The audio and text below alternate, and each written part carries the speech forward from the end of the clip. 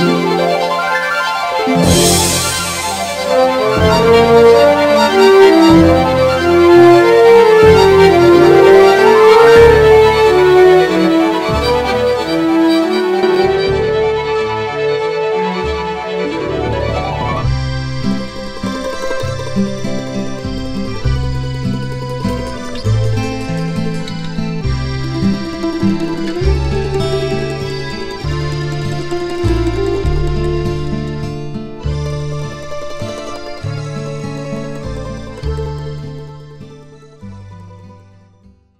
Hi, I think you all know who I am. As you well know, we are getting closer to my birthday. Every year, there is a celebration in my honor, and I think that this year the celebration will be repeated. During this time, there are many people shopping for gifts. There are many radio announcements, TV commercials, and every part of the world, everyone is talking that my birthday is getting closer and closer. It is really very nice to know that at least once a year, some people think of me. As you know, the celebration of my birthday began many years ago. At first, people seemed to understand and were thankful of all that I did for them. But in these times, no one seems to know the reason for my celebration. Family and friends get together and have a lot of fun, but they don't know the meaning of the celebration. I remember last year there was a great feast in my honor. The dinner table was full of delicious foods, pastries, fruits, assorted nuts, and chocolates. My favorite. Thanks, Dad.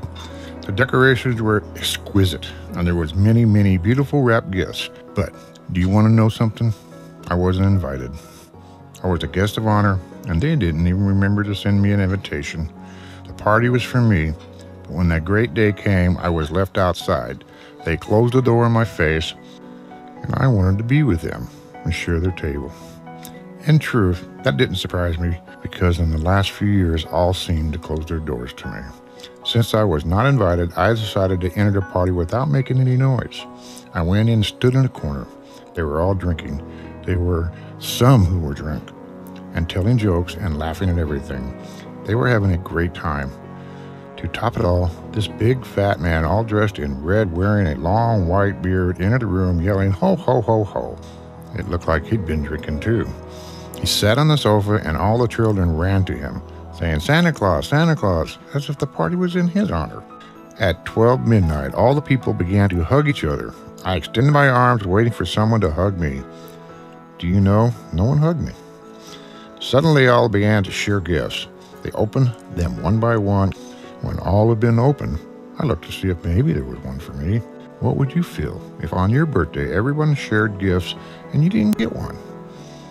Then I understood that I was unwanted at this party and quietly left. Every year it gets worse. People only remember to eat and drink, the gifts, the parties, and nobody remembers me. I would like this Christmas that you allow me to enter your life. I would like that you recognize the fact that almost 2,000 years ago, I came to this world to give my life for you on the cross to save you. Today, I only want that you believe this with all your heart. I want to share something with you. As many didn't invite me to their party, I will have my own celebration.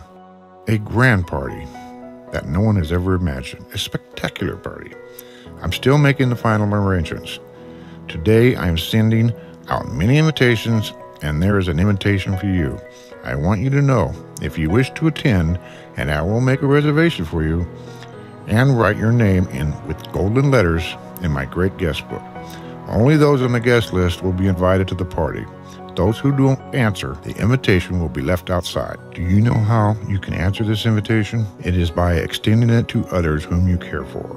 I'll be waiting for all of you to attend my party this year. See you soon, and I love you. By the way, I know I sound like JW, but I had to use somebody's voice.